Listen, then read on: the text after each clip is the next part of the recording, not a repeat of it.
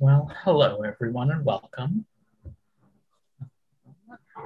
As some folks have already done in the chat, feel free to introduce yourselves, your affiliation, uh, and where you're hailing from in the chat. Lovely to see people doing that so far. Uh, but mostly, welcome to the fifth in a series of webinars as part of the Empowering Temporary Foreign Workers Project. This project from Kairos Canada is funded by the Government of Canada's Temporary Foreign Workers Program. My name is David Ivany, and I'm part of the Empowering Temporary Foreign Workers team, and I'm honored to facilitate this webinar today. Also joining me from the migrant justice team at Kairos are Alfredo and Connie. We have Shannon, and I believe Cheryl is in as well. Uh, and we are all happy to welcome you to this. So, uh, yes, please continue introducing yourselves in the chat. Uh, your microphone has been muted, and we ask that as we move into the presentations that you please keep your microphone muted. Um, and please hold your questions for the Q&A after the presentation. We don't want them to get lost in the uh, early parts of the presentation. So I know you have a lot of questions, but please hold on to them until we get to the Q&A. Uh, and a reminder that we will be recording this session. So if you do not wish to appear in the recording, feel free to turn your camera off. Uh, and if you do not wish to be uh, heard in the recording, please uh, ask your questions in the chat uh, and I will move them into the presentation. Uh, we will begin recording with our land acknowledgement, which is so I would like to acknowledge that we are meeting today on the traditional territories of the indigenous people across Turtle Island. We thank them for allowing us to meet and learn together on their territories.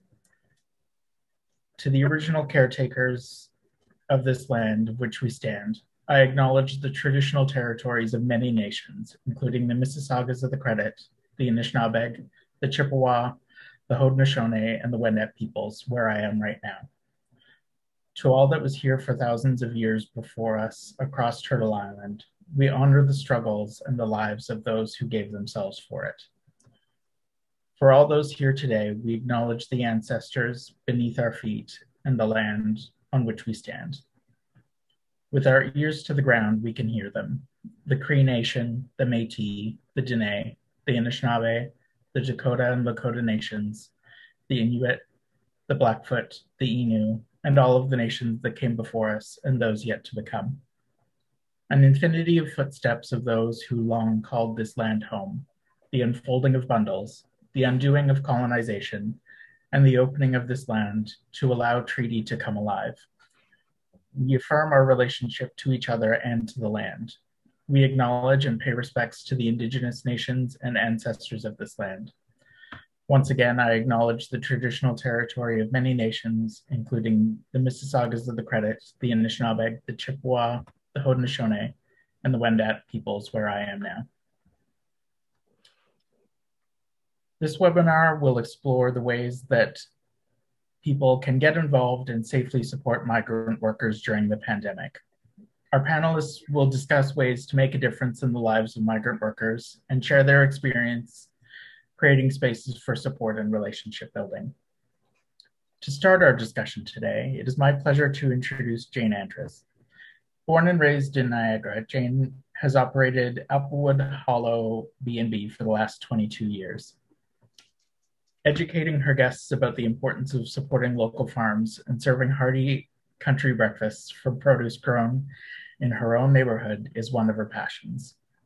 Through the process of organizing music for church service, she became aware of a sense of invisibility and lack of connection to the local community that the migrant workers in her area were experiencing. Since awakening to the experiences of migrant workers in Canada, Jane has been involved in organizing concerts, picnics, and delivering welcome bags to temporary foreign workers in the Niagara region. Um, and we are going to further explore the work that Jane has done through a short video.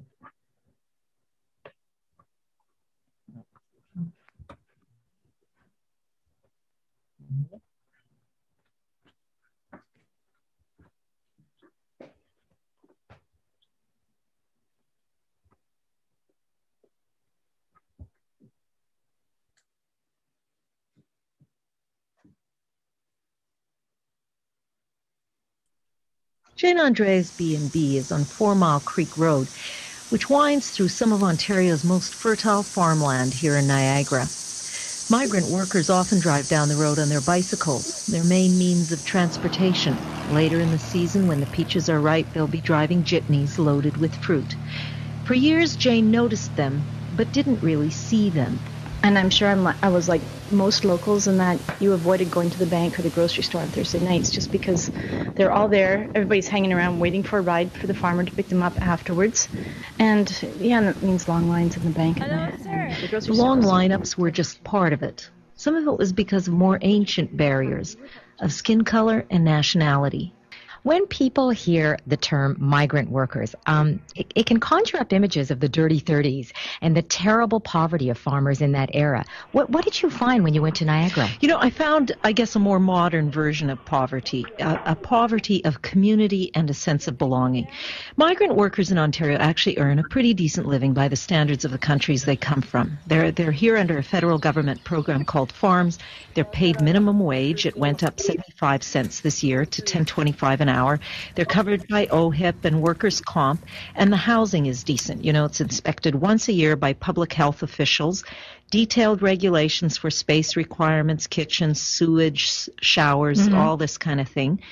But where I found real poverty was around a sense of belonging, a, a, a, poverty as real and maybe as debilitating as the financial kind. Well, what do you mean by that? Well, you know, it struck me. These men are away from home for a long time. Some of them arrive as early as February to help prepare the fields for planting. Many won't go home until late October, so they're away from home for all but four months, really, of the year. Paul Chambers is one of them. He has two children, aged 8 and 12 and I asked him what it's like to have to leave them behind every year. If uh, if they're eight and twelve and you've been doing this all your life, you it must always be a little bit hard. very much, very much. You know, um, each time leaving them, it costs me so much tears to know that I have to leave them. But the good part of it, whenever time I went home back, it's always been a like a, a joyful settings everybody happy to know that I'm home again. Whenever time I'm ready to leave, it brings sadness to the heart. That's that's a way of survival. Come in.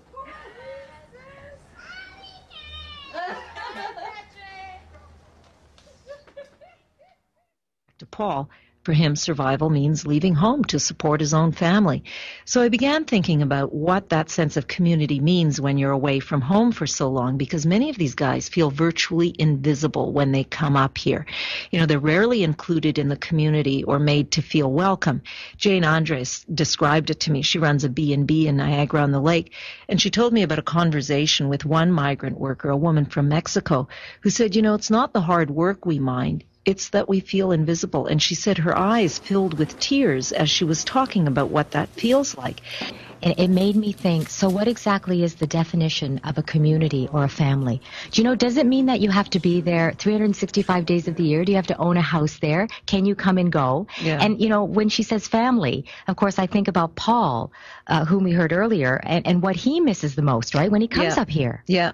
And Jane began looking for other ways to connect to these guys.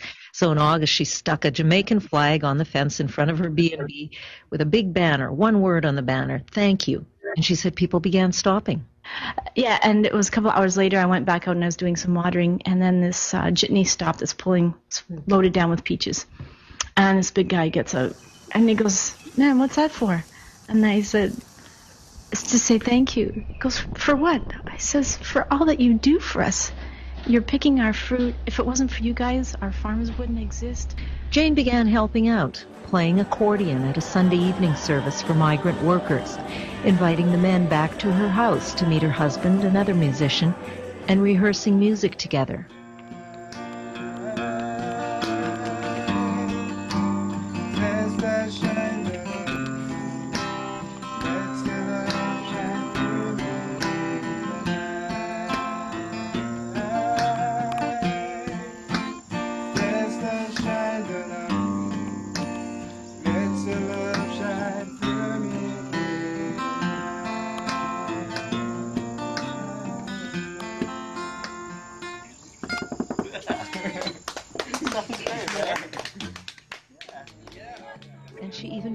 Traveling to Jamaica, visiting the men one by one in remote farm villages in the Blue Mountains. $1,000 per day. Wow, that's pretty good. Yeah.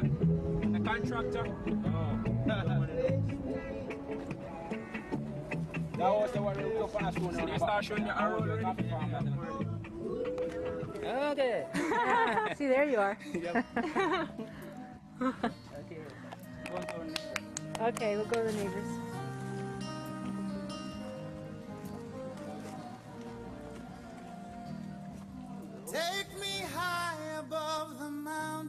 Like when you go to the top of a mountain in Jamaica and you have to walk up to the top part because the road stops and you go up into the clouds and you find him working there so hard and you meet his wife and you look out from his front porch as you sip coconut water and you see this incredible incredible view. Then when he comes by and rides his bike by your house, you've, you've got a sense of relationship. And um, Today, Jane makes a point of shopping at the Valu-mart in Niagara on a Thursday evening. it's just such exuberance and excitement. Oh, that doesn't happen often when you're getting groceries, but yeah, and you become you become family. This is Kemar. And this is Kmar. And you know what, Dixon? Yes, sir.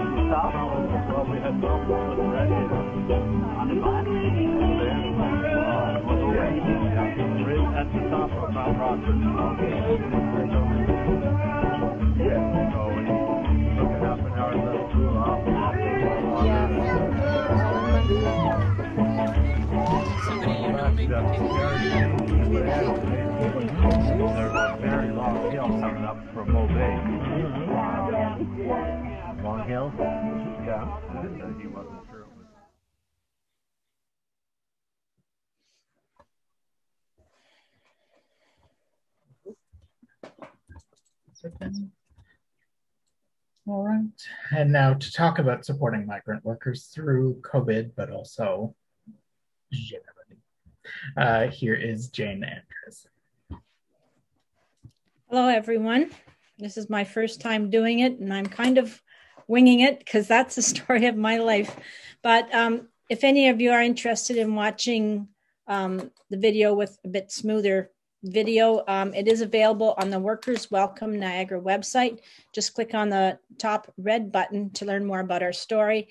And there's a series of videos. Um, the videos were actually um, well, this one was made about 10 years ago, 2010, with um, CBC Radio had done the Working Man series, which featured the story of uh, farm workers in Niagara and what we were doing as a community to try to strengthen those relationships. And um, it was a radio series. I bought a Mac and taught myself how to use iMovie and just made it myself with own clips.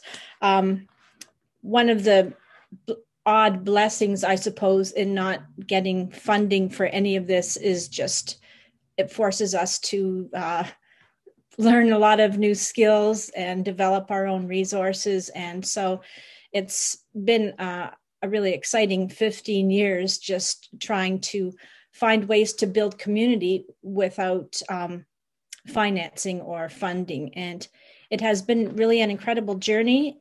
And I'm very grateful for 15 years of experience before COVID hit because our relationships there's already a lot of really deep relationships in the community there's already a lot of trust um, in our relationships with the farm workers so when covid hit we did have um, pathways to be able to communicate with them in quarantine and on the farms and um, gave us a bit of a platform to start working from. Whereas communities that are just now becoming aware there's really a struggle saying well how do we connect with people on the farms? We aren't allowed on the property. They're not going shopping. How do we find them? So i can really appreciate the struggle with trying to start after covid has already um, taken root in our communities and um, I, I think what has been my um, experience. I first began through music, and my journey actually started when I was given the task of connecting with local churches to try to get volunteers to help out at the Caribbean Workers Church service. And um, and the mystery that kind of evolved to me why was there resistance in the church why was there just the impulse that they would write a check but not get involved and so that's really been my journey the last 15 years is to try to uh, strengthen relationships uh, within neighborhoods, realizing that when they're your neighbor, they're not a project. It's a, all about relationship. And it's been a huge challenge um, the last 15 years to get, because I'm assuming this is largely a faith based audience, that is affiliated with some church or that type of thing. Um, the, the struggle has been to see beyond the project idea and go deeper into relationship. And there has just been a lot of resistance for that and continues to be resistance. And um, I thought at first it was just a local thing. Um, but even the one fellow in the video who was um, singing along with a guitar he got um, transferred to British Columbia and he wanted to go to church out there. It took me all season, six months. I, I Googled him, went on the map, saw all of the Mennonite churches he was surrounded with in Pitts Meadows, BC. And in six months, I could not find one person to take him to church. And because they didn't have ministries to farm workers, they could not see him as a person that just needed a ride to church. And so that's been my um, passion and my quest to try to understand the roots of racism, not just in the Mennonite churches, but in all of the churches that tend to be in rural communities, and to see how we can go deeper and um, build relationships neighbor to neighbor. And perhaps one of the very thin silver linings with COVID is the fact that the churches had their doors locked and now they're forced to love their neighbors if they want to express their faith. So maybe this is a good thing. Maybe this is a new opportunity. And as Christians, I think um, we we serve a God who is a redeemer and who can help us see beyond our own little boxes. And maybe COVID is the opportunity to break free of some of these restrictions, to force us out of church walls, and to be walking the neighborhood because right now that's the only thing safe to do they encourage people to get out and walk and that has what has made an impact just in my own rural neighborhood semi-rural people are getting out and i'm able to introduce them to farm workers in the neighborhood there's some really cool friendships and connections that are developing not only with the farm workers but because other neighbors are watching the interaction with farm workers on the road in front of their houses where we are allowed to have conversations. Um, it's impacting our neighborhood, which is really quite exciting. So, um, that being said, that's all just a bit of background about where I'm coming from. So, it's something that would involve people that have no faith, but just by virtue of being neighbors, by living in Ontario, you can be part of this support and um, healthy community. So, um, just um, a very brief word about what the farm workers are experiencing this year with COVID. I'll just have to jump past a lot of other information, but um, it's it's been a very frightening experience for them this past year, and um, even with news of the vaccinations, it can it um, instead of it being good news, it's also a huge stress factor for them. And um, we can be very happy to get the vaccine, but they have different levels of concerns and historical experiences that impact their view. So I find right from the, the stress for coming to Canada starts um, when they are given their date to leave and they have to they have to um, prepare to come. For many, their flight start they they have to leave at one or two in the morning from their homes. I will just speak about Jamaicans. With Mexicans, it'll take two or three days of travel. With Jamaicans, they may leave at two or three in the morning, or possibly the night before. Um, some just sleep on the concrete at the Ministry of Labor in Jamaica if it's hot.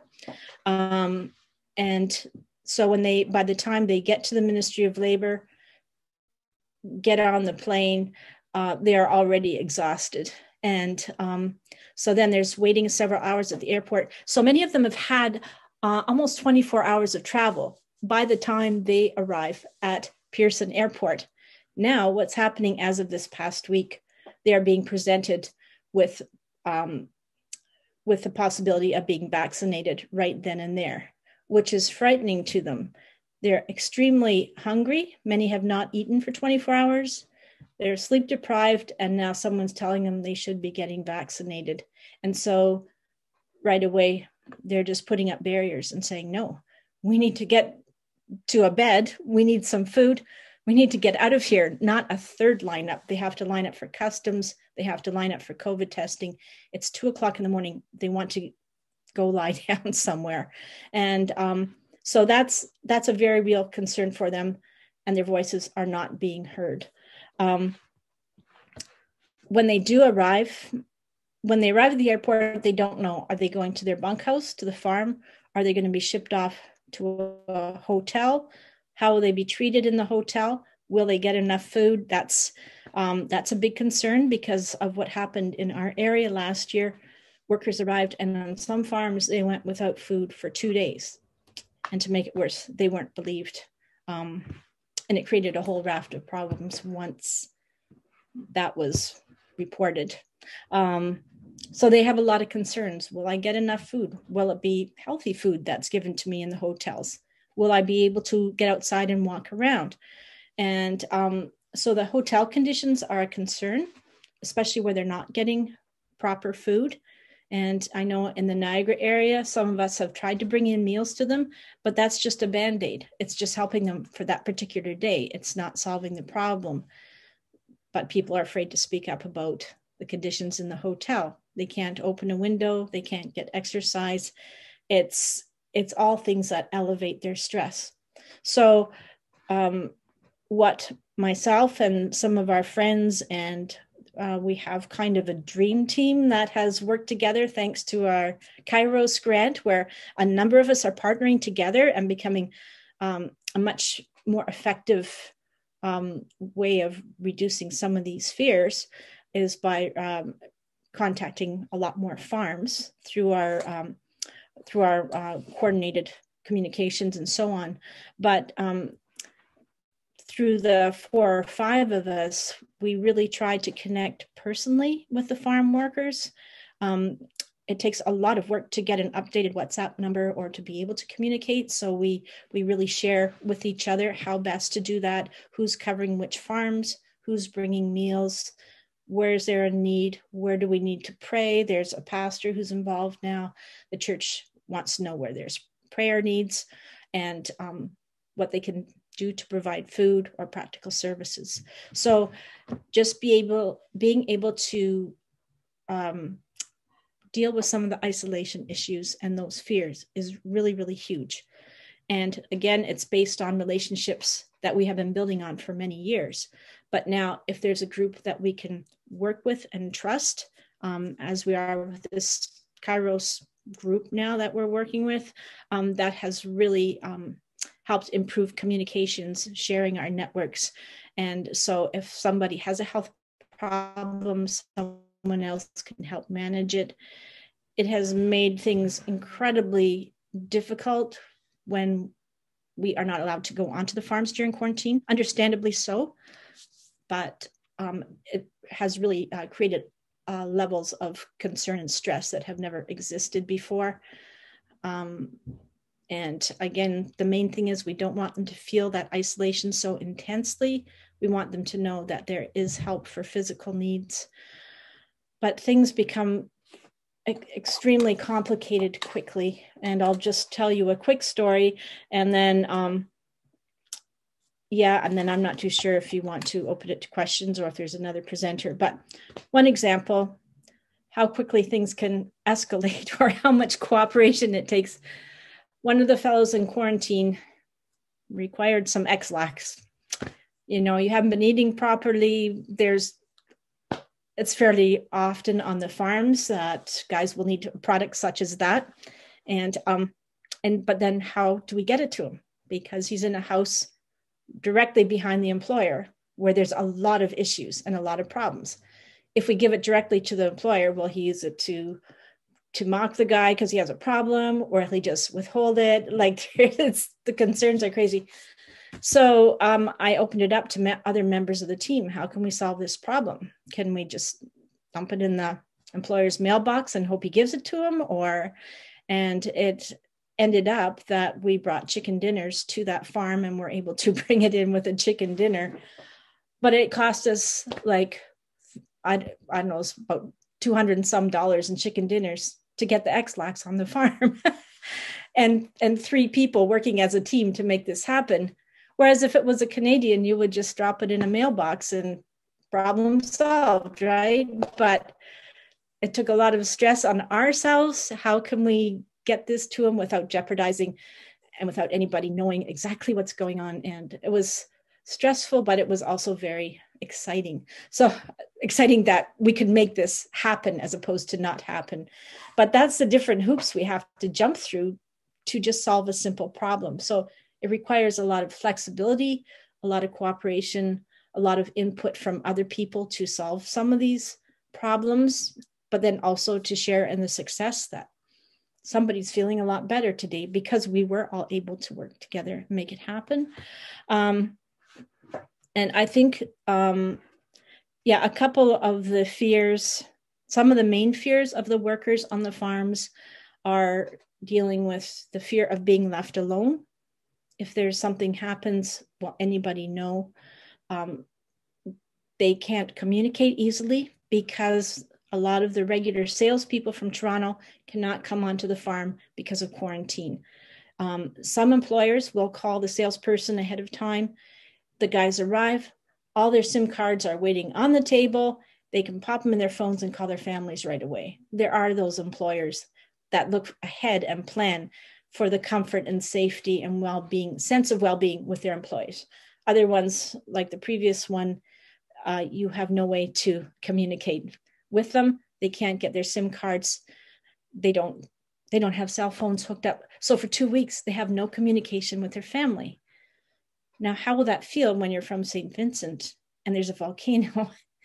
the guys from St. Vincent arrived last week after a week's journey. They left St. Vincent a week ago, were evacuated by ship, were in a hotel in St. Lucia, separated from their families, wondering what is going on. Finally, arrived here exhausted. For men from in those situations to arrive and have no communication with their family, you can imagine how frightening that is. So what I have been working on for the last couple years and pushing for is to provide Wi-Fi hotspots at no charge to the farms um, for the duration of the season, not just for a week's loan, but for for the full duration of the season. And every year I've been turned down saying we can only afford two. So yesterday I went to the Rotary they wanted to make a donation to welcome kits, which I said, can we divert it to hotspots? And so last night, the Rotary came up with three, um, the funding for three hotspots for three farms, which is amazing after a couple of years. But you can imagine when you come here, worried about communication, and you've got the hot hotspot there, and right away you can call your family. And I think that's something. If people are not connected with farms, they can start partnering with organizations like Rotary, um, with Kairos, with various community organizations to um, to find out which farms are is the um, internet provided for, which aren't. They can find that out from an employer if they don't know the employees, and then just see how can they do this as a gift for the community to get started, and then they'll have the ability to connect with the guys as well. So when this COVID blows over, you've got some people, you've got some relationships. So there is some possibilities for things like that. Um, you can have some meals delivered to the farms. So once the guys are finished quarantine and can start work, uh, their days are long. I've been hearing from a lot of guys who their days are exceptionally long because they've been held up for a month because of quarantine, all the paperwork. Um, yeah, there's a lot of stress because the weather's, the blossoms are finally coming on and now we're getting snow. So there's a lot of stress by with employers and their employees. Will there be a harvest? Um, and yeah, so because they're working long hours to deliver a meal from an approved restaurant, pre approved from the employer, which is generally not a problem, um, especially if they're packaged by the restaurant. Um, yeah, so they, I think, alleviating their fears that they're going to be alone, providing meals, just dropping them off, prearranging. Um, and another main concern related to COVID right now is the vaccines sorry, I feel like I'm pushing a lot of information out here, but there's a lot going on. But um, every single farm worker I've talked to is very concerned about the vaccine, some because of misinformation, but a lot are prepared to get it, but they have very concerns, very real concerns that are not being addressed, such as if I get side effects. Um, they're not that worried about having chills or fever for two days what they're worried about is having to lose work because of it. And then their family's not getting enough to eat that week because they were off work. So, and these are questions that the employers and the government are not answering. What happens if I do get sick short term? What happens if I get sick long term? What happens if I get a blood clot? Am I going to be abandoned? And we all have experiences, even just recently, where um, and and a lot of them are not sure what the relation is between blood clot and a stroke. But for example, um, one of our friends on the farms had a stroke about three weeks ago.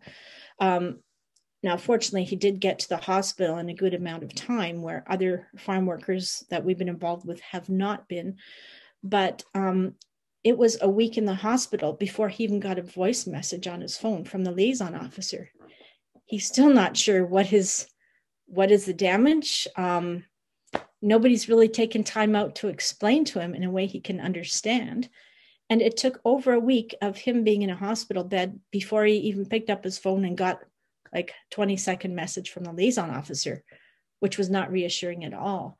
So when they're worried about getting a blood clot or a stroke because of the vaccine, they know they are going to be on their own. And so, for us to reassure them, we are not going to let these things happen. We are standing with you.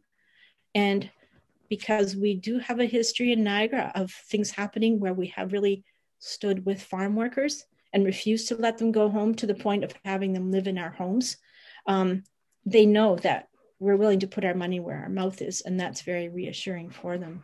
So, that's that's it in a nutshell what's happening down here. I'm sure there's more questions people have, which we can ask later if you like. Thank you so much for that. I've learned quite a bit through this, and I'm looking forward to the Q and A.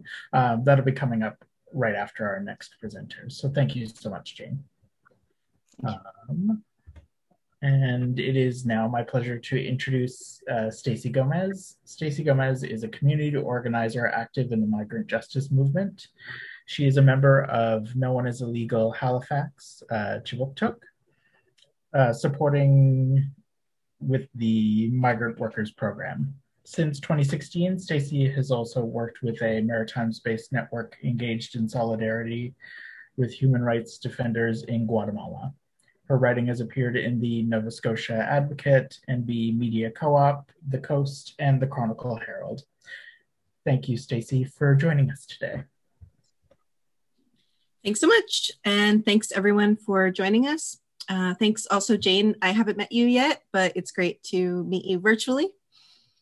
Um, and definitely a lot of things uh, that Jane shared uh, also resonate uh, with our experience here. Uh, so I'm based here in Halifax and uh, we work uh, throughout Nova Scotia in support of migrants, including migrant workers. So yeah, I'll just share a little bit about us. Um, so through our migrant workers program, we're engaged in outreach, advocacy, public education, and direct support uh, with migrant workers uh, in our communities here. Um, we're also part of the Migrant Rights Network, uh, which is a network of migrant justice organizations throughout the country that are calling for full and permanent immigration status for all migrants, including migrant workers. Uh, so here in Nova Scotia, there are about 2,000 migrant workers uh, that come each year, uh, working in the agriculture sector and also in seafood processing. Uh, they're uh, from Jamaica and Mexico, uh, and some have been coming here for 10 years or more. and so, as Jane has highlighted as well, we do really emphasize that migrant workers are part of our communities um, and you know, with COVID 19, it's really highlighted uh, the important uh, work of essential workers, uh, which um, migrant workers are as well. They contribute um, incredibly to uh, our food system. Um, so, I do uh, want to talk about what's going on uh, with migrant workers doing during COVID 19. Um, but I think to talk about that, it's also important to talk about uh, what, what, what's been going on pre COVID 19. Uh, so uh, here um, in Nova Scotia and throughout Canada, Mexican migrant workers have made complaints to the Mexican Labor Ministry. so between 2009 and 2018, there were 89 complaints to the Labor Ministry registered from Mexican workers working on Nova Scotia farms. Uh, so that includes uh, for issues such as uh, wage theft, uh, poor and inadequate housing, uh, and so on. Um, and we've also seen over the years heavy surveillance of migrant workers, migrant workers being told that they're not allowed to speak to Canadians.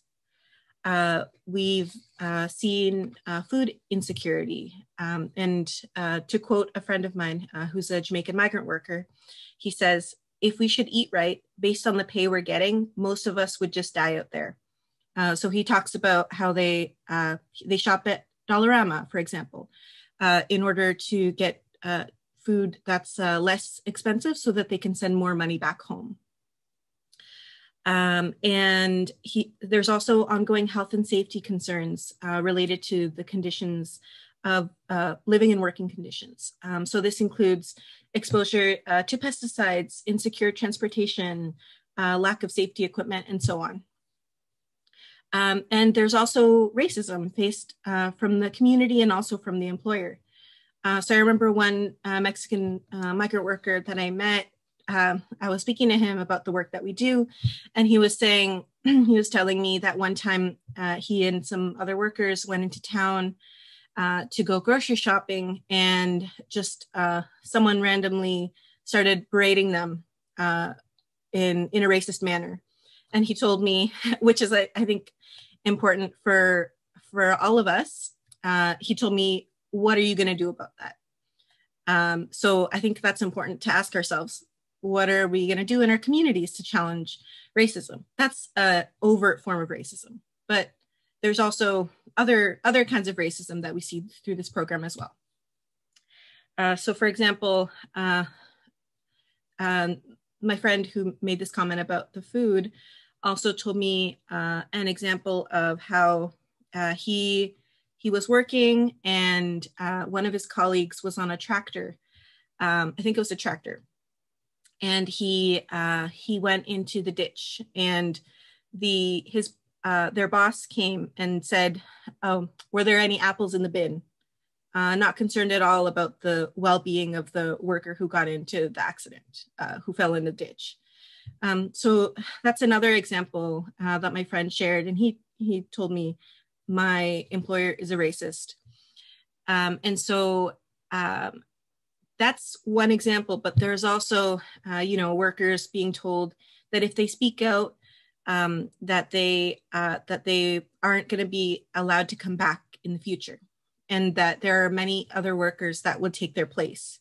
And so that's another form of racism uh, to say that they're uh, expendable as as as workers as people. Um, and importantly, um, it, when we talk about racism, uh, it's also important to talk about the structure of the program.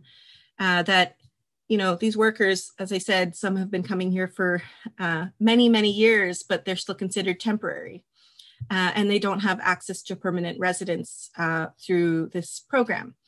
Um, and so uh, that really puts them in a vulnerable situation. they're also they don't have the right, as many of us do, to to leave their employment easily. Uh, they uh, so that puts them in the vulnerable situation where they're tied to one employer. Uh, if they speak out about any of the conditions that I mentioned, they risk being fired, uh, returned to their home country, and barred from the program uh, in the future. Um, and uh, so there's an application that they can make if they're in a if they're vulnerable workers if facing abuse. Um, but you know they have to apply apply for that and there's a lot of documentation and such and it's not given that they'll receive it. So uh, so this is the situation pre-covid. And with covid-19 uh, these conditions have been exacerbated.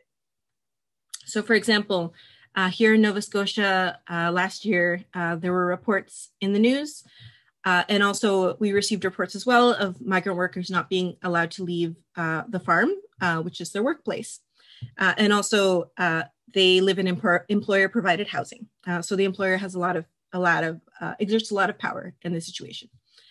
Um, also, uh, we heard of uh, workers facing wage theft. they faced intimidation when an inspector came um, and they were told that if they uh, told the truth about what was happening on the farm that they would be uh, that they would be uh, sent back uh, there were they also spoke out about safe, or rather, they made a complaint about unsafe living and working conditions there. And we know that uh, with COVID nineteen, uh, with over overcrowded housing, that really is an increased threat to the health of migrant workers um, with the pandemic.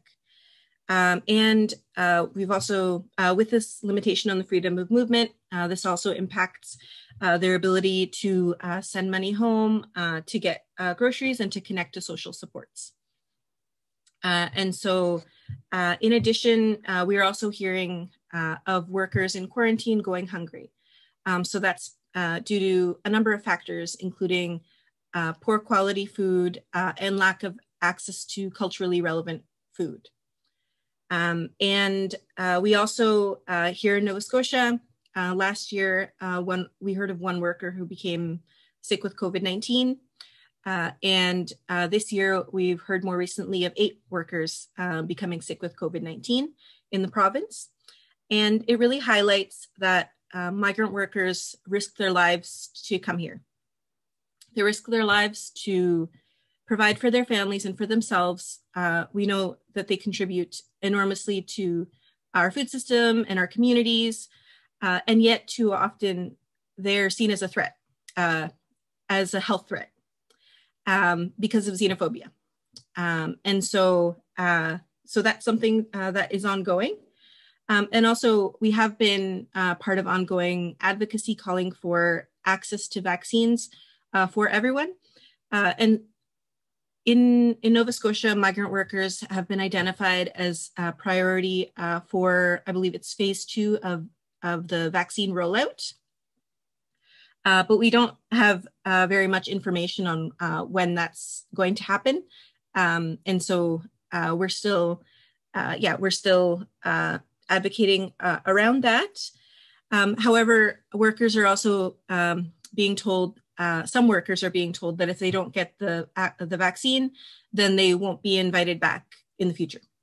Uh, so there's a common theme in a lot of what I'm saying is the threat of not being uh, able to come back um, because of the structure of this program, uh, which which is exacerbated during COVID-19.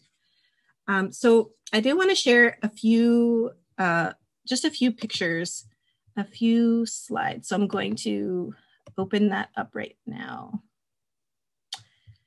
Okay. Hmm, it's not coming up. Just one moment.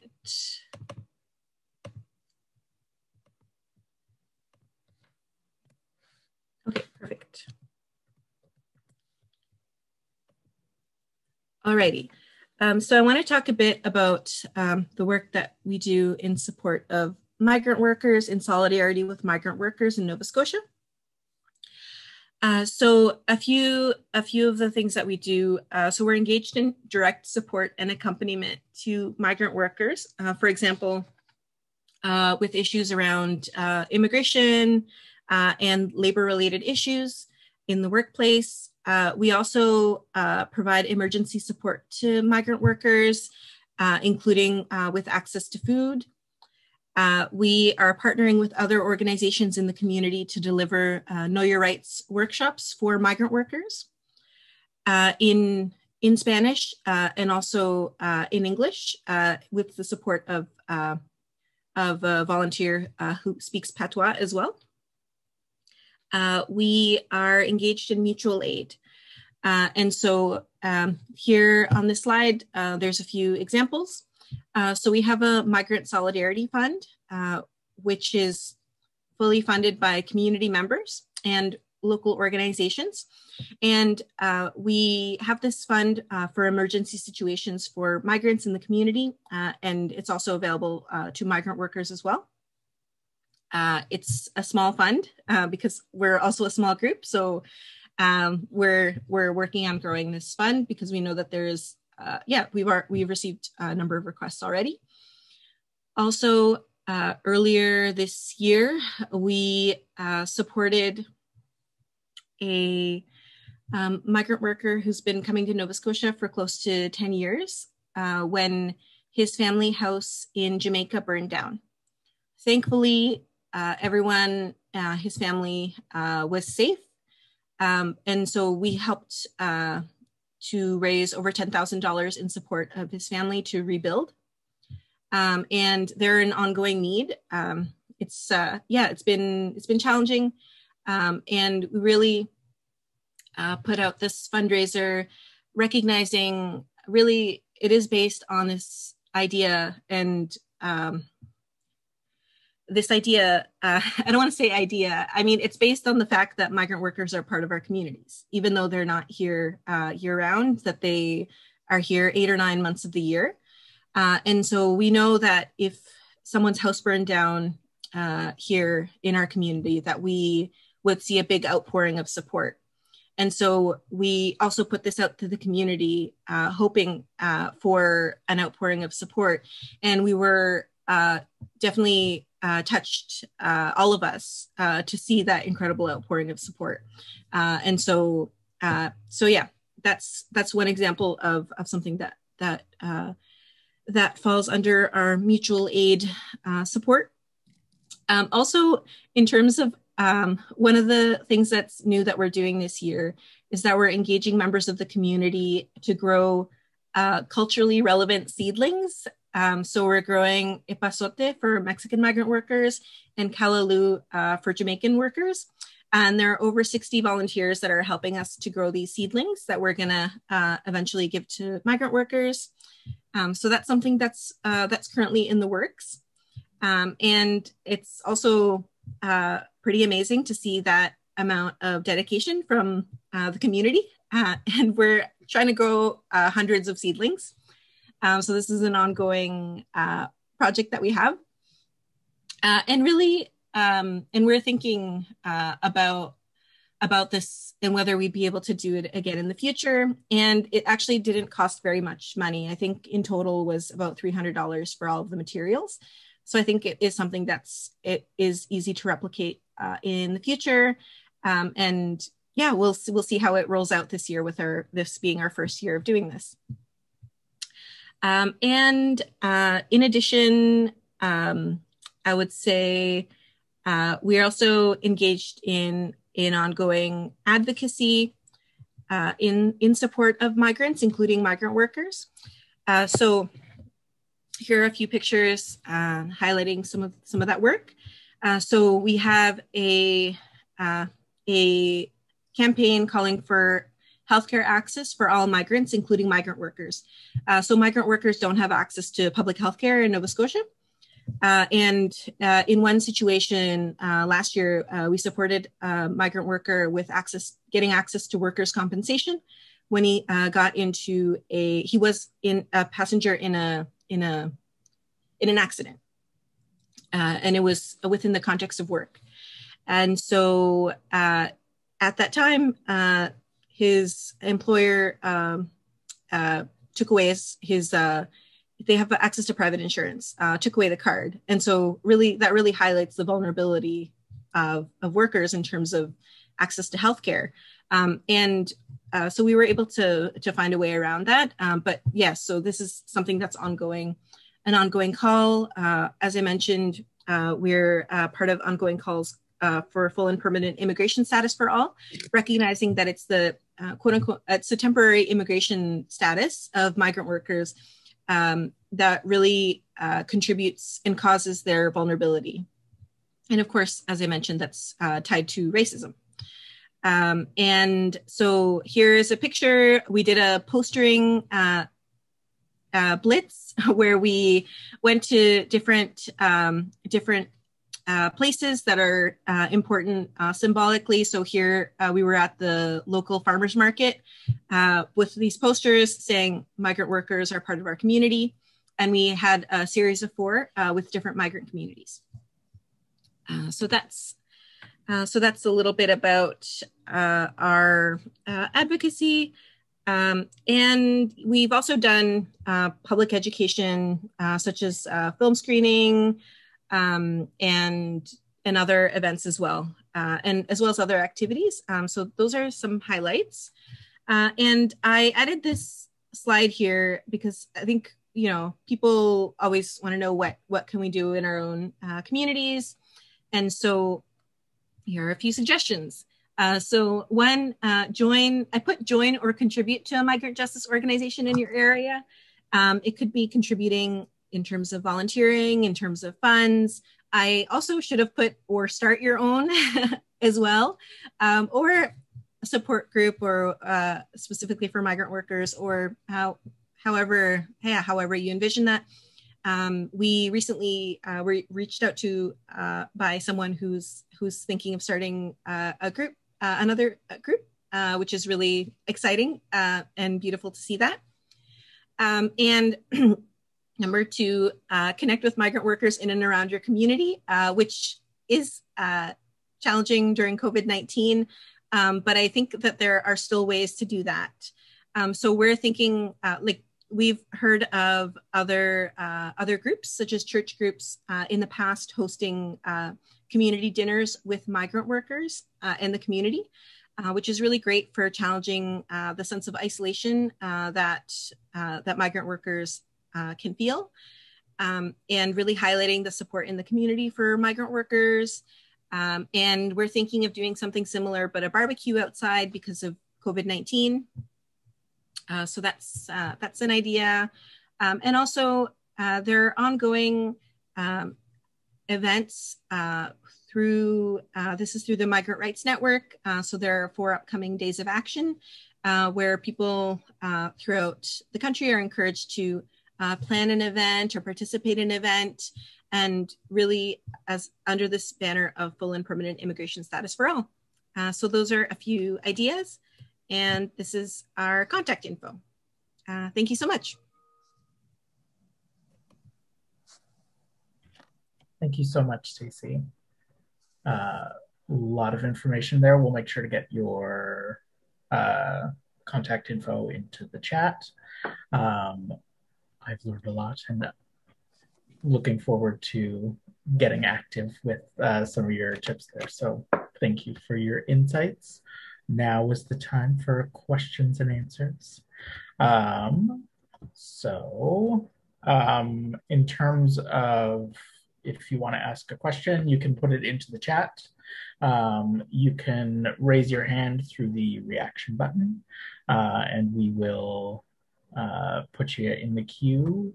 Um, and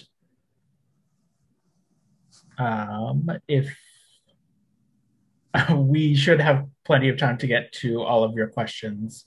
Um, so feel free to put them in the chat and I will put them in order. I already have a few questions uh, that were asked earlier um, that I will put to the group. Um, and if anybody has insights, feel free.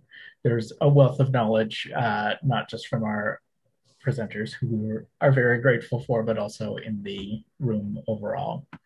Uh, so there was a question earlier uh, in Ontario, people 40 and over can now be vaccinated.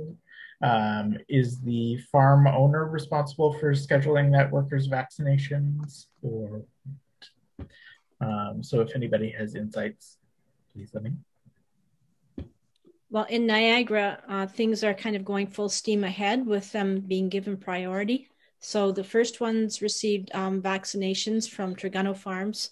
Um, yeah, if you um, if you go onto the grower, the magazine, the grower uh, website, there is information on there about that, about how they're rolling it out to the farms, and an interview with Phil Tregunno as well. So approximately 70 of his men received the first vaccinations as part of the pilot.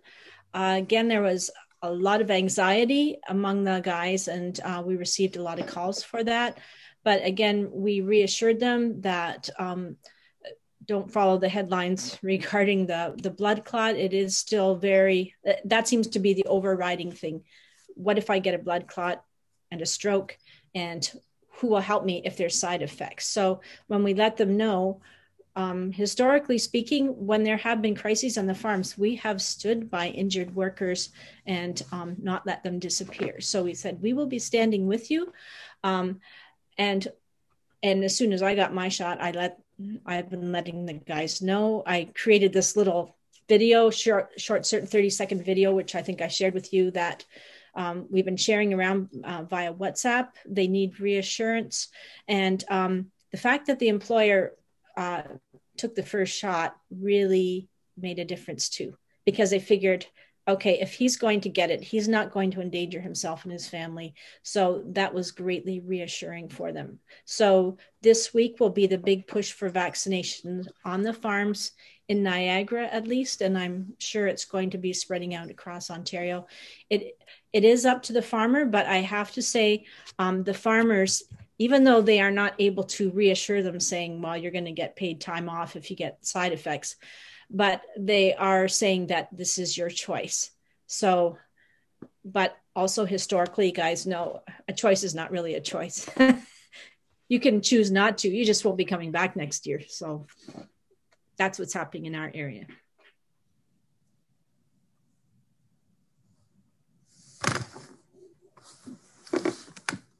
Thanks, thanks a lot. Um, and I, um, so far, I've the timeline uh, timeline I've been hearing here, which I haven't heard very much, is June uh, for the vaccination of migrant workers. So we don't have any details, uh, any more details on that. Thanks. Honey. Um, thank you so much, Jane and Stacy, for the very informative, you know, uh, sharing. Uh, I just want to add um, some information around vaccination. As James said, here in Ontario, this is already being rolled out. I understand that, that last Saturday, uh, there was, you know, a full kind of stream vaccination uh, done in Leamington. I also want to, you know, to share that there's two streams now. One uh, for the workers who are already here. Uh, that's you know, uh, so it's through the farms and also kind of sharing that information and so forth. But for those workers who are who are just arriving, uh, vaccinations are done, you know, upon arrival. So it started, I think, not this Saturday, but the other Saturday. Uh, workers coming in through the Pearson International Airport are, you know, are being bused or through the link brought to a vaccination area uh, near the airport before they are you know they are picked up by by their employers. So uh, just you know uh, to mention that. In halifax um, the the kind of the atlantic government is kind of coordinating you know among themselves in terms of being able to provide logistical support to the workers that are arriving and also kind of a mandated uh, quarantine in government approved facilities before uh, they are transported to, you know, or before they go to where they're supposed to go, whether it's in New Brunswick or uh, PEI or in Nova Scotia. Right now, there are two airports operating as port of entries. So this is Moncton and also Halifax. Um, there is, you know, a huge possibility for our community partners, you know, under this empowering temporary foreign uh, migrant workers project that our community partners are able to provide logistical support uh, in the airport uh, to workers who, you know, who are just arriving. So in Toronto, we might be able to start, you know, this airport support services uh, this uh, this week, while you know we're still, you know, negotiating, you know, for Halifax through Stacy and no one is illegal, and possibly in Moncton. So just you know to share that information as well. Well, if I might just add, um, of all the workers that I talked to that arrived last week, and um, they all turned down the vaccinations at the airport. They said they felt that was unfair to be presented with that when they were so. Some of the guys they said we could hardly walk. We haven't moved for a couple hours. Now we've been in two different lineups for customs and COVID tests. We're shaking because we're so hungry. We don't want to get into another lineup for a vaccination. We just want to go lie down and get some food. And none of them accepted the vaccination. But talking to them today, they said we would have received a vaccination if we could have at least had a meal so we didn't have to stand and wait in another line. So some of them were not anti vaccination, but they mm-hmm. all agree it's a bad idea at the airport. It's incredibly insensitive and it's not listening to what their needs are, which is food. mm-hmm, mm-hmm. It's basically it's just one more example of them not being listened to. Even yeah. Phil Tregunno, the uh, first farmer who got the pilot um, vaccination program going, he said it's not a good idea, but the government is mm-hmm. not listening. I think Eduardo uh, from OCA wants to share additional information around vaccination. Um, yeah. Sure. Oh, oh sorry. Um, yes. Hi, everyone. Um, so, yeah, we've been quite trying to get uh, stay connected to all of the developments around the vaccine um, airport initiative. Similarly, we were quite concerned when we started hearing about the proposal for it. Uh, exactly what you're mentioning, Jane, in terms of just trying to figure out if that is, you know, not a, a space that sounds like it's very conducive to making sure things are done slowly and with a, a big focus on communication and answering people's questions. Um, so we provided a lot of feedback early on to some key contacts um, at uh, some of the groups involved, including OMAFRA. Um, so we provided, uh, you know, a recognition of the importance of, of, of, making sure workers were receiving information before they were offered the vaccine at the airport, and if that were going to be, if that was going to be happening. Um, then the initiative obviously started, um, and and uh, there's a, a, staff person that uh, we work with, and it, also works with uh, uh TNO, who's part of the network um, here, who's been involved in those vaccines. And generally speaking, it's it's it's tough because I think you know um, we've heard a lot of positives from the the Mexican worker community. Um, so uh, in terms of the people involved, they noted that a lot of the Mexican workers were really thankful to have uh, the vaccine available to them. Um, there, it sounded like there was still a lot of learning that happened in that initiative in terms of, uh, you know, from the get-go, some information was not necessarily being provided uh, right away and through more of, of doing the, the vaccination clinic you know certain things got identified and, and kind of looped into it. Um, i know workers do get a meal um, following the the vaccine um, but but yeah it's it's definitely we've been we've been really trying to keep track of it because we we are and continue to be concerned but one of the biggest things too so the Mexican government um, has been, so we produced a, a series of packages, of, of, resource packages that we've been distributing that have the vaccine information in them um, as well as other COVID 19 safety uh, resources. And those have been printed and handed out to every worker um, while they're in line to get the vaccines in the airport. Um, and so at least that's some information. Then they have greeters uh, that then discuss the information with workers. And it sounds like questions to an extent are being, uh, you know, being answered. But again, um, you know, it, it's yeah, far from from perfect. I'm sure. Um, the, like you said, Jane, the the one thing that was flagged was that there was quite a or there was a difference between the acceptance uh, of the vaccine uh, among Mexican communities and among the Caribbean communities. So the first Caribbean flight that came in, um, it was from Trinidad and Tobago, and the the rate of acceptance was quite lower for the Mexican community, they they had a really high acceptance of of the vaccine at the airports, is what that what uh, the the ministry and the consulate uh, were reporting. The Trinidadian flight, I think, uh, had uh, an estimated around 60% acceptance uh, of the vaccine, so it was lower. Whereas in uh, the Mexican flight was actually higher than that. It was it was quite high. Um, higher than I think it was the regular population. So then again, there was really a focus on ensuring that workers didn't feel pressured, that this wasn't part of an arrival requirement or things like that. That was really emphasized in what we said that it should be emphasized, and it sounded like it it is being emphasized. Um, and then maybe I'll stop ranting, but um, it's gonna it's continuing, um, and and yeah, yeah. Um, I guess one and sorry, the, last couple things, and and uh, I don't know if other colleagues are on the phone as well that might want to speak to this some of the, the other issues that we've started to communicate to some of the health units are, and, and they were raised actually um, from some Kairos network folks and, and Stephanie Mayel as well um, from TNO, that this, some workers have been getting their second date, uh, so the, the date of their second uh, dose of the vaccine ends up being um, after their return date back home. Um, so that's been a concern that people have been raising to the health unit saying, you know, it, it really becomes really needed to ask workers when their date of return is um, to be able to figure that out.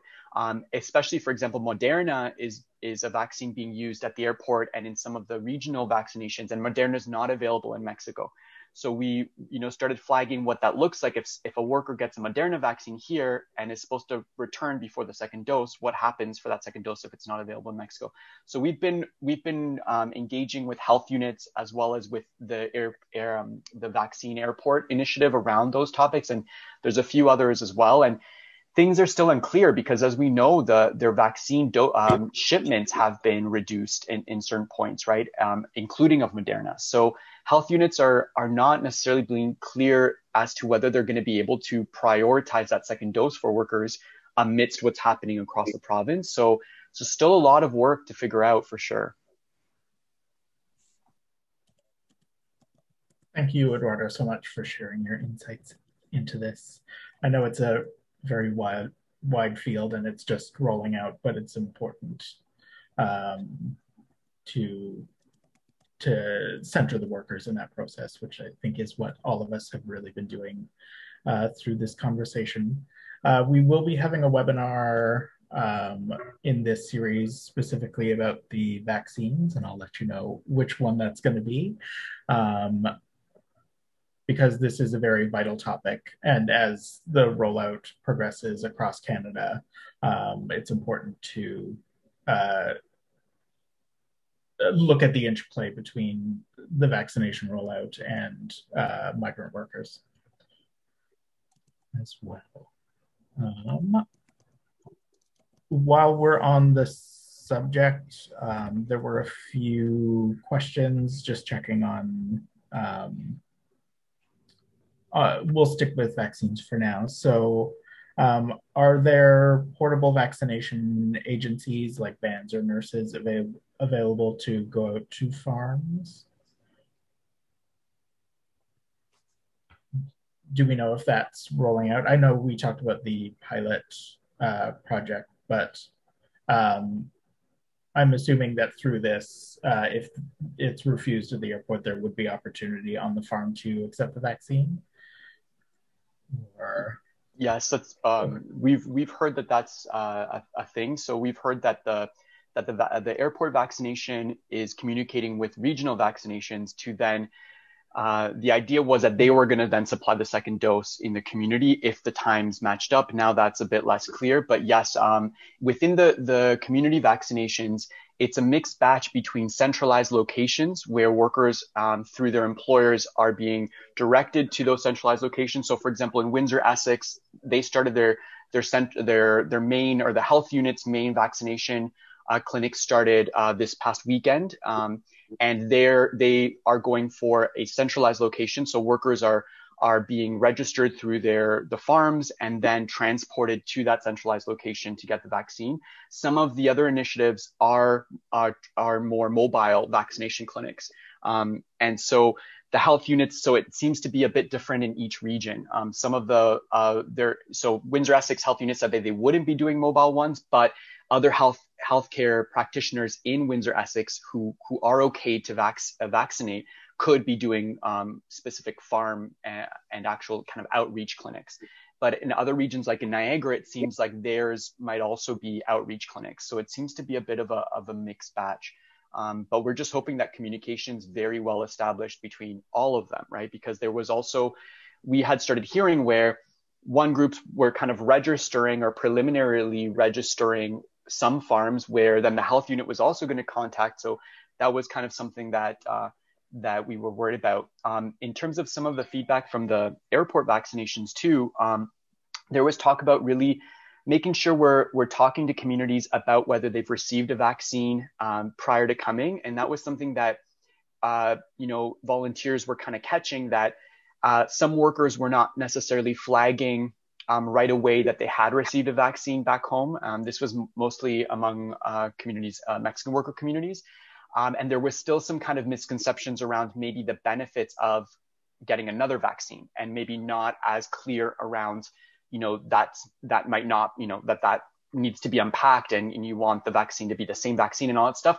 Um, you know, uh, one of those cases was flagged really close to a worker in the line of getting the vaccine. So then once that was figured out, it became a conversation that started um, more uh, overtly, I guess, with workers to say anybody who's gotten a ra- vaccine, you know, let us know because we then, you know, need to follow up with you. And that then became kind of a, it seems to like it, it became more of a, a discussion. So, yeah.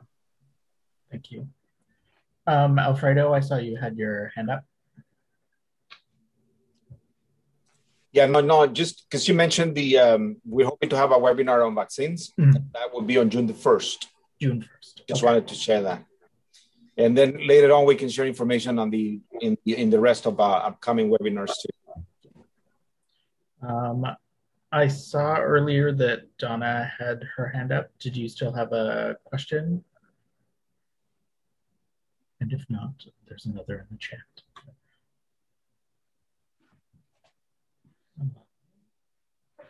All right. Well, in the meantime, uh, there's a question from Ashley from Unknown Neighbors. Uh, does anyone have suggestions or strategies they can share on some ways of locating temporary foreign workers? A majority of the farms I've reached out to say they don't employ temporary foreign workers. This has been kind of a theme through a lot of the uh, a lot of the webinars, and it does make that direct piece difficult, but if anybody could speak to that, go ahead. Uh, Fanny's on mute. Oh.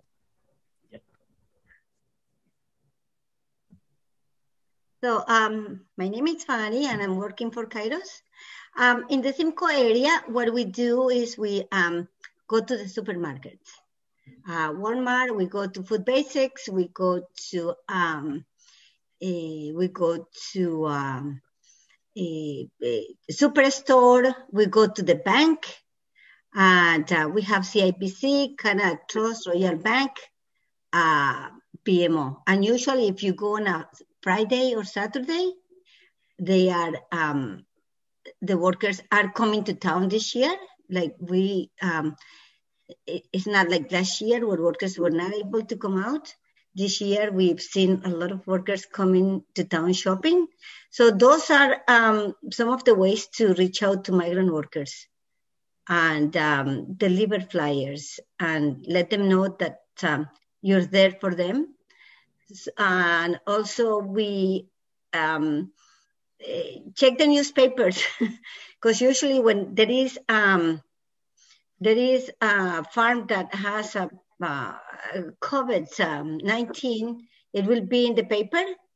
And then you find out through the farm that there are some other farms that hire migrant workers. And that's how we reach out. And um, the farms in our area, they've been really, uh, they, we have, we, we didn't have any trouble talking to the employers and so you just knock at the door. Um, usually they have a big sign, do not enter.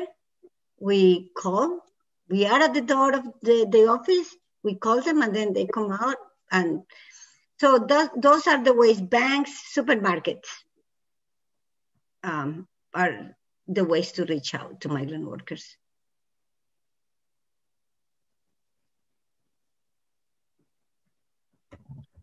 Thank you for that. Uh, there's a question in the chat for Stacy.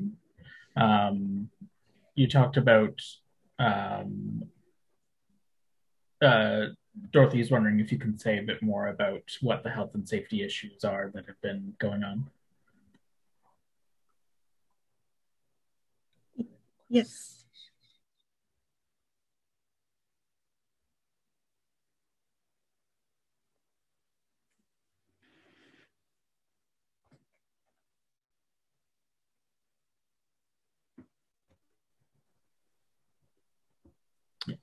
Uh, so yes, uh, happy to share. And also here is Noe. Uh, Noe is also supporting uh, with the migrant workers program here in Nova Scotia. Hello and welcome. Um, um, see, yes, so I talked about some of the safety concerns um, that existed uh, before the the pandemic and how they're being exacerbated during COVID 19. Uh, and so, um, yeah, I think that's also something that Noe uh, can speak about as well. Um, and so, uh, but yeah, I'm happy to share. I had mentioned a few things uh, such as uh, hazards, uh, such as pesticides, lack of access to safety equipment. Um, those are some of the some of the things that have been directly mentioned that have existed prior to the pandemic also during the pandemic. Um, so, for example, I'm not sure if it's the case also in Ontario, but um, workers in the food sector, um, uh, so they're exempt from the social distancing uh, measures. Um, so the employer is supposed to uh, reduce the amount of kind of um, is supposed to find ways to to reduce the the risks to to migrant workers, but uh, but they're exempt uh, from uh, from uh, social like physical distancing uh, in the workplace, which makes it hard for them to uh, refuse work that is unsafe in, in, this context. And so, with with our group and other organizations that are part of the migrant worker rights working group, uh, we've been calling for a removal of that uh, that exemption uh, for workers in that sector. Um, so that's uh, that's something uh, recently uh, that we've been well since the since COVID, something that we've been advocating around. Um, and I also I, I wonder if Noé might also have other things to add to this to this question as well. sí, si quieres puedo traducir. Okay. Yo siento que la seguridad en las casas, bueno, como viviendas que están como a punto de colapsar, ¿no? La última visita que hicimos era, se miran que las casas son como abandonadas. Mm -hmm. Uh, so Noe is also Noe is talking about uh, so safety in terms of housing uh, is also an issue. Uh, so recently, uh, he saw some housing uh, where migrant workers are living that is at the point of almost collapsing, uh, that look like they're like abandoned housing. Que también en, en lo de los procesos, digamos, de seguridad o esto de que tienen que haber instrucciones. Yo creo que nunca hay las suficientes instrucciones, no que más bien como amenazas, ¿no? Uh -huh. Uh -huh.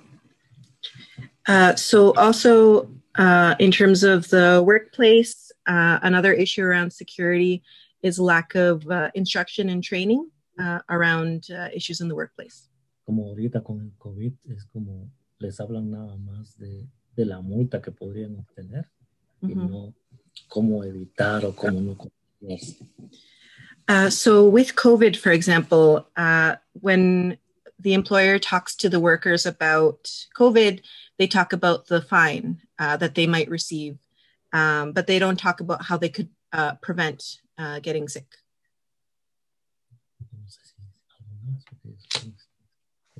Uh, the, that's that's it for now. I think. Um, thank you.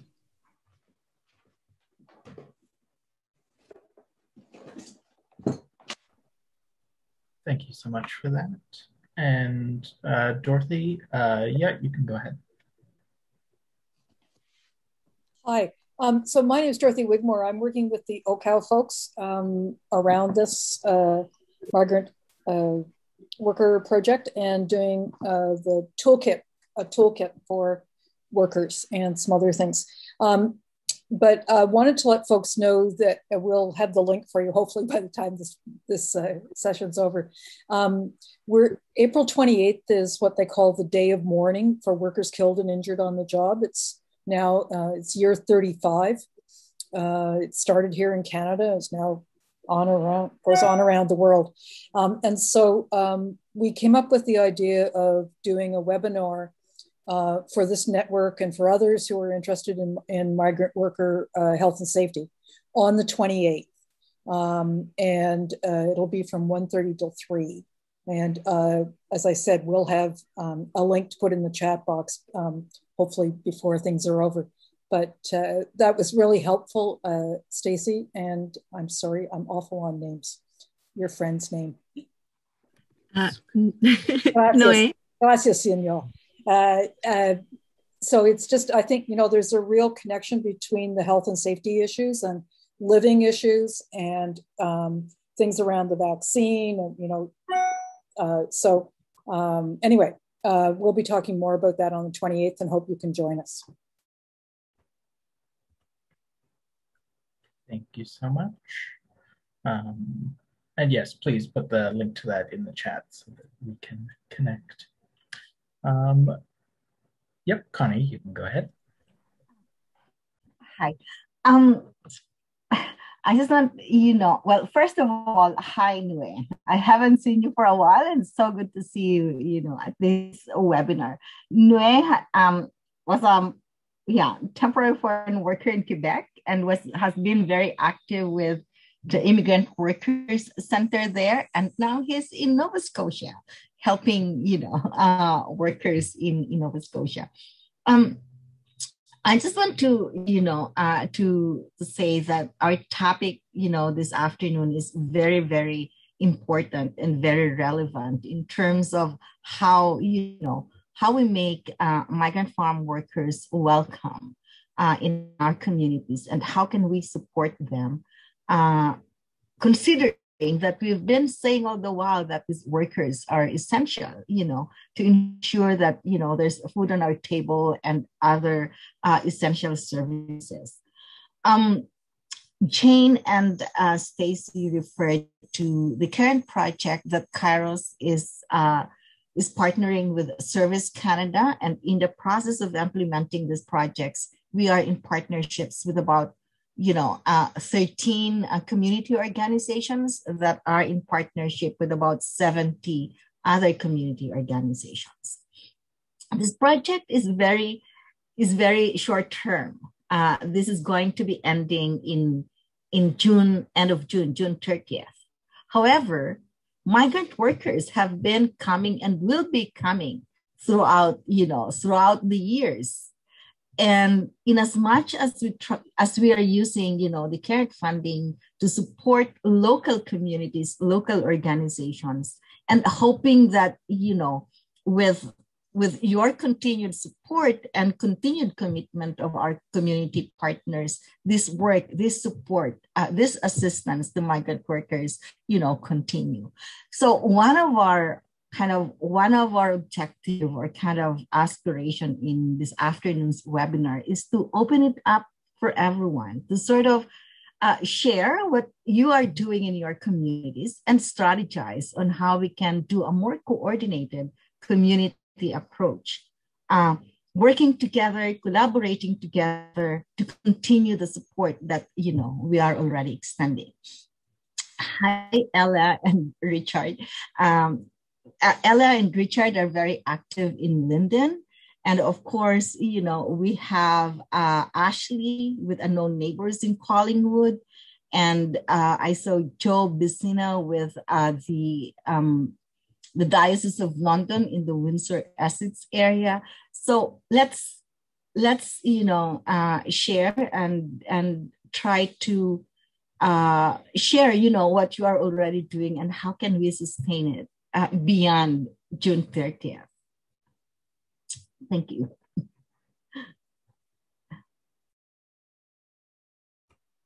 Yes, in uh, developing this webinar, um, I, as someone who prior to January was completely disconnected from this issue, was wondering about ways that where um, just like interested people who aren't working in the field can participate uh, and what they can offer to uh, to support migrant workers. Uh, and I've gotten a lot of uh, great tips for people from uh, Jane and Stacy. But um, if there are other people from other organizations who are looking for volunteers or um, have programming that could benefit from uh, from sort of a mass of people getting involved, uh, feel free to add that into into this webinar. If I might add, um, I'm very grateful for um, this um, ability to be able to connect with uh, or opportunity to connect with people from across Canada. Um, as many of you know, the farm workers are usually um, like in our area, they're just here for a specific amount of time. Then a lot of them that come up later will then transfer to Collingwood and Brighton, some as far as Nova Scotia for the apple harvest. And then we get calls from there saying, Jane, I need to see a doctor, or I need a new pair of shoes, and all, all manner of things that people need in the course of living. And um, we have nowhere to start to be able to hook them up. Um, last year a number of ladies were in collingwood with all kinds of needs. They'd never been there before um, and had not been told the truth about where they were going to harvest and just found themselves alone and isolated and very worried because they didn't have proper winter clothing to harvest apples. So knowing now that there's connections in collingwood is just really helpful and encouraging as well as halifax and across the country. So this kind of information is also invaluable um, to all of us actually. So I really appreciate everybody's input today.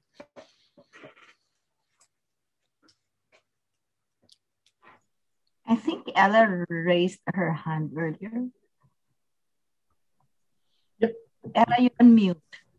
Um, one thing we find, I, David just mentioned, you know, as far as volunteers, we'll get a call a day before a rain, and the guys will say, We have no work, we're stuck in the bunkhouse, we'd like to practice English.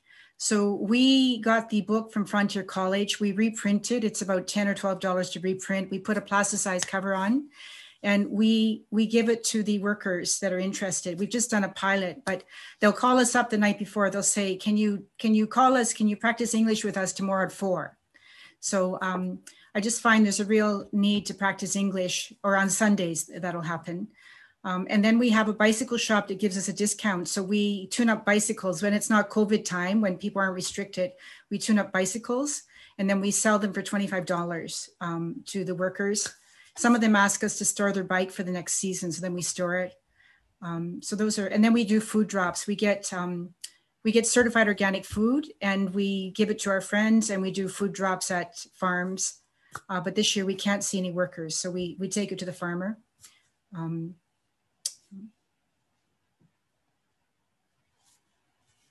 Thank you, Ella. Yes, thank you so much for that. Um, Sharon in the chat says a few of us in Brighton have had to work hard to access medical care for workers since their working hours don't match with medical clinic hours. Uh, what have others done in regards to this issue? There insight.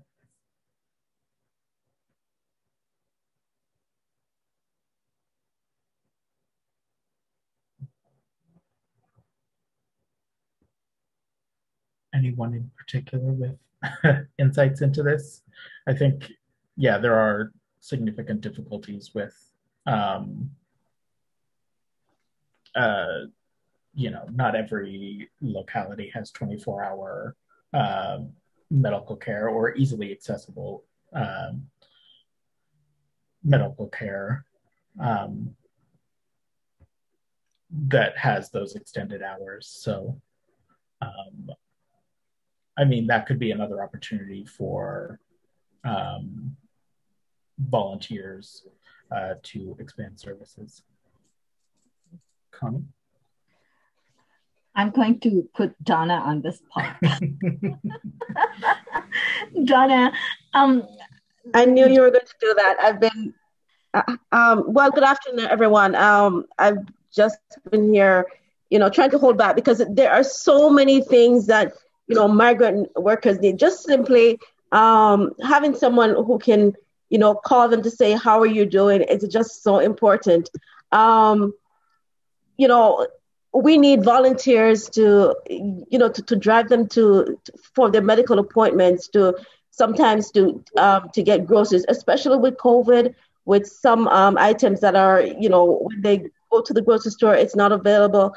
Um, you know, I would get calls and say, you know, can you pick up, you know, can you pick up some some yam for me, or can you pick up medication, um, you know, that kind of stuff. You know, just knowing that there's somebody who can who can help them out, you know, during this time is, is very important. Um, I, I also volunteer with an organization called Caribbean Workers Outreach Project, and we are connected to the United Church. And um, in, in the past, what we have been doing is connecting spiritually. So uh, we have Sunday night services, which is the guys tremendously um, love to attend. Even now, they're saying, you know, they're saying, um, when are we going to get together? Um, can we actually do like a Zoom, um, you know, serve worship service on a Sunday morning? So, the, you know, there, there, are calls for that. Um, we do domino competitions. Um, and you, you know, um, you know, rival with um, with with Vineland. Uh, we also do a, a, cricket competition, which is which is a great pastime for for Jamaicans. So just being able to to get that social aspect in there. Um, we have volunteers who will, you know, on their own time will invite workers over for dinner, or they'll take them out on an excursion. You know, just that, just simple things like that that help to to to connect, to build community, to to let our migrant workers feel, you know, very welcome, like that they're part of our community. It's it's so very important. And I mean, um, thanks, Jane. Um, Jane is kind of like my mentor for the Niagara region because she does so much for migrant workers. But uh, I mean, the guys, um, you know, just showing them how much we appreciate them and how much we care that they leave their families every year to um, you know to spend six seven eight months here you know just to provide um, to put foods on our table. Thank you donna. Um, what we are also planning at kairos is organize you know uh, a local ecumenical meetings uh, in in areas where we have already community partners and in areas where there's a huge you know concentration of uh, of migrant farm workers. So for example we've uh, we've shannon is here with us. Uh, uh, we've been in touch with father peter for example in in simcoe and you know kind of requesting okay who are the community churches that are in the area that we can, you know, uh, we can call on and we can organize a meeting and and just find out if they are also doing or providing services to migrant workers in the area or if not how can you know how can we we start ecumenically. As you know, Kairos is an ecumenical organization and organization, and we have member churches in in almost all of the areas where there are migrant workers. So that's one way of you know drawing uh, drawing in uh, local churches and faith groups uh, to yeah to start kind of you know providing support and, and assistance in whatever way uh, they can. But really you know get engaged and become part of this community action that you know we are doing. Um, shannon if you want to say a little bit more on that just to say that we have um, we've not reached out to all of our partner organizations yet in every area we just sort of picked a few that we knew were um, sort of uh, where there were lots of churches around, and we uh, were ready to reach out there. Um, we're slowly setting some dates. If there are uh, folks on this call who would be keen to have that sort of meeting in their area to garner more support for your um, organization or for the work that you're doing, or to just see more initiatives begun, um, reach out to us and we'd be happy to partner together to, uh, uh, you know, use use your contacts, our contacts, and and put together an invitation where we can share the work, share that is being done, and share the needs that are there, and invite more people to be involved.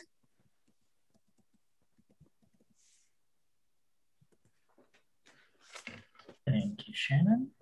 David, if I might just add, it's Donna here. Yep. Um, another very important way we were able to connect with migrant workers is um, through Caribbean Workers Outreach. Uh, we would bring um, two ministers um, from Jamaica um, to, mm-hmm. to the Niagara and the Vineland um, sides, and they would spend uh, five weeks each year, all expenses paid. And what they would do is they would actually go to the farms like in the evenings and visit with the guys you know just minister uh, minister to them you know just see how they're doing and that kind of stuff. And they really really appreciate knowing that, that they have a minister who who um, speaks the same language who understands culturally you, you know um, kind of things that they're going through. And i found that to be very effective thank you donna Thank you so much. Uh, Shannon has put her email in the chat. Um, if uh, you're interested in partnering for the an ecumenical meeting. Uh, and there is also the Eventbrite link for the OHCOW uh, health and safety webinar as well. Uh, and if you want to save the chat, it's just three little dots and then click save chat and you're good. Um, May I also mention an idea from that a local church is doing? Um, and uh, Southridge Church in Vineland has probably one of the mm-hmm. most effective uh, farm worker outreaches in Canada, I would say. And last year they managed to have a social night, um, one or two nights a week, by inviting the farm so that they're coming in their own hub and their own bubble. So there was no concern about cross contamination between farms. So they would have their nights of ping pong and pool and watching movies, video games, that kind of thing. So they've been very innovative about how to create some um, very important diversions for guys to, even though it's the same bubble, but at least they're different activities and they're off the farm. And it involves food, which is wonderful. So, um, so there's some of the ideas with Southridge um, Church in Vineland, which um, you can just Google them and contact Nate Dirksen. I'm sure he'd be happy to fill you in on ideas. Um, traditionally, in August, well, for uh, about eight years, I did the Workers' Welcome concert, which we eventually just outgrew because we didn't have room for a venue that had room for a thousand people. So it evolved into the Peach Pickers Picnic starting in 2017, and we continued for three years. The last year we fed 1,000 people. It was a phenomenal turnout. Now, of course, we can't do that because of COVID. But one of the things we're considering is doing a pop up concert with delivering meals at the same time. And just getting a trailer, putting a kit of drums on it, and a little portable speaker, uh, one mic, and uh, just properly distancing, but just pulling around to the farms, doing two or three songs, dropping off a meal, moving on to the next farm.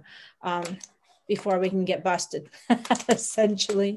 But um, and again, it would just be pulling off the road uh, safely and just letting the guys know you are not alone. Delivering watermelon, snacks, whatever, whatever the budget will allow. Um, and um, I think there's many different ways we can be creative about this while still respecting all of the protocols because ultimately that's what's most important that you respect everybody's health and keep everybody safe. But this is part of um, the stress dealing with the stress levels and the mental health issues are um, of increasing concern. When there have been mental breakdowns in the past year just due to all the accumulation of stress isolation fear for their families they just get sent home um, and it's been very, very concerning to hear about these stories a year after the fact that we didn't even know about this because there's the shame and stigma attached of people having um, inability, the inability to cope with such huge amounts of stress. They don't have the resources we do, and they have the added levels of shame and stigma, which many of us are now more open about if we're suffering with depression whatever. We recognize the signs. We we can be proactive about some things at least if we see it in family members. But for these guys it goes unrecognized until it gets built up to a breaking point.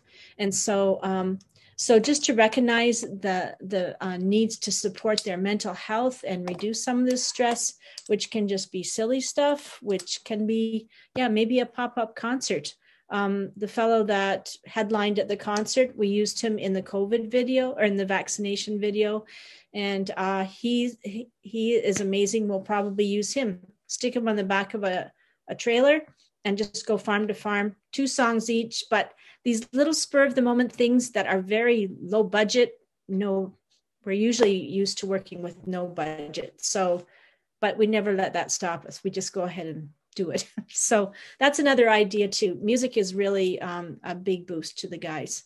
So another fellow um, we were able to purchase a keyboard for. He does have internet provided on his farm, so we hope he's going to be able to do some recording and we can share that online as well, just to um, allow them to share their voices, that they will be heard, and that their their voices are important for encouraging their own peers. That's hugely important in connecting them. Um, Jane, I want to pick up on what you what you shared earlier about you know partnering with community local local community business mm-hmm. in terms of being able to provide for example the wi-fi hotspot mm-hmm. in, in the houses because it's it's one of the you know major issues that many of the workers are facing in terms of isolation and not being able to connect to their families especially during emergencies if something in the bunkhouse and and and so forth. So um i wonder if you can you know just say that again and and just you know for for our participants here to take you know uh some inspiration and kind of uh how to do how to how to do it kind of thing. Yeah. Yeah. Well i think um it was a huge success with uh with our own library. They only had two Wi Fi hotspots. So I connected them with the farms most in need and advocated on their behalf that they shouldn't have to return them after two weeks. And it was actually what prompted that move. Um, I wasn't even that familiar with what hotspots did two years ago. But one of the fellows on the farm was actually having a breakdown of sorts. His his wife had left him in Jamaica and took the kids with him he um, had no idea where she was going. It was really a very serious situation to the point he started digging his own grave in behind the bunkhouse. He was going to kill himself and didn't want to make a mess. And so he started digging a hole. It was very, very frightening, very depressing and worrisome for the other guys who were quite scared what was going to happen. And I realized this is just really important for him to be able to connect at home. And where he worked um, and where the bunkhouse was located, it's just in a little blackout area. So um, they also can't make phone calls. Like Chatr doesn't work. Some of these traditional um, providers just didn't work in that area. So they'd actually have to go up to a neighboring house and try to connect to the neighbor's Wi Fi. It was really a problem. And so I just went to the library and said, This is a real, this is a very urgent situation. We need to borrow a hotspot now. And it was just sitting there idle, not being used at the library. So I was able to get it and to have it extended till the end of the season. And I automatically asked for it the next year, but I'm realizing all over, I didn't realize how expensive the data plans were until I had to get it on my phone. And then it was because we want to communicate. Everybody needs WhatsApp to communicate to Mexico, Jamaica, wherever. And then when I had to put it on my phone, it's like, oh my gosh, this I can't afford this. But then I thought, well, I do need to communicate with them. But I just thought their their earnings are so quickly eroded because they're supporting their household back home. They also have internet fees back home, and now with COVID, it's gone through the roof with them having to pay if they have two or three kids at school doing it online the internet is eating up such a huge cost of their wages up here. So um, it, they just they end up not buying enough groceries and just scrimping and other things because the online costs and staying in touch are so high. So um, i got frustrated and and i've been asking the library for the last two years how can we get more wi-fi hotspots I was turned down all the time. It's the prohibitive. But then I found out no, it's not prohibitive. It's $1,200. Rogers has a plan with our Niagara Lake Library. You buy the hotspot for $100 and then you purchase a two year plan, which is $1,200. Each transponder can serve 15 um, devices at a time with unlimited internet. Well, this works out to $50 a month. So if you guys have 15 guys chipping in $5 a month instead of $50 a piece, that's a huge saving. And the internet is unlimited and um, and it goes everywhere. There's no blackout areas. Like it works close to the our problem is the Niagara River and proximity to the US. There's no problems with these hotspots. So Rotary wanted to contribute $500 to the welcome kits yesterday. I said, can we use it towards this? Here's the need and i did all the background information. There are other libraries um, kitchener waterloo has 82 hotspots that they loan out. You know uh, wellington county meaford the rotary there paid for their new hotspots. Why can't we work with other community organizations to serve underserved rural areas until 5g kicks in or whatever? We can solve this problem now immediately. And so yesterday, Rotary kicked in enough for three more hotspots and the contracts, which I was not expecting. But people are anxious to do something. And this is a very tangible mm-hmm. way that makes a difference immediately. And it also helps us to connect within our community. It's not just back home, it's us. We want to learn what's happening with our neighbors who are stuck in quarantine. Are their families okay in St. Vincent? Like, this is important for all of us, right? And their kids back home need help with their homework. And they're calling their dads can you help me? I don't have data. Well you know it's possible. We can try to keep these families intact and um, communicating as best as possible. And this is one really good way to do it. Um, and another way for us personally for the last number of years is our house is also a post office and a delivery spot for amazon. And i know amazon the delivery guys think I have a real addiction, but it's actually people just sending using our house as an address because they mm-hmm. this is a privilege we don't think of. We think like they can't get mail. They don't want their mail going to their employer's house. They don't want all the parcels going to their employer's house. They use my place and then I'll do a no contact drop off. And I don't support Amazon personally, but these guys have no alternative. Mm-hmm. So yeah um, thank you, Jane. And I just want to add, you know, that the libraries, the public libraries are really good to be partnered, you know, to be partnering with. For example, Durham Region for Migrant Workers Ministry are actually given, I think, um, five uh, uh, Wi-Fi spots or uh, hotspots and also were, you know, they were uh, lent uh, devices like tablets.